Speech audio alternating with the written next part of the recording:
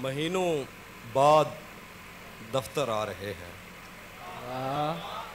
महीनों बाद दफ्तर आ रहे हैं हम एक सदमे से बाहर आ रहे हैं। वाह वाह महीनों बाद दफ्तर आ रहे हैं हम एक सदमे से हम एक सदमे से बाहर आ रहे हैं।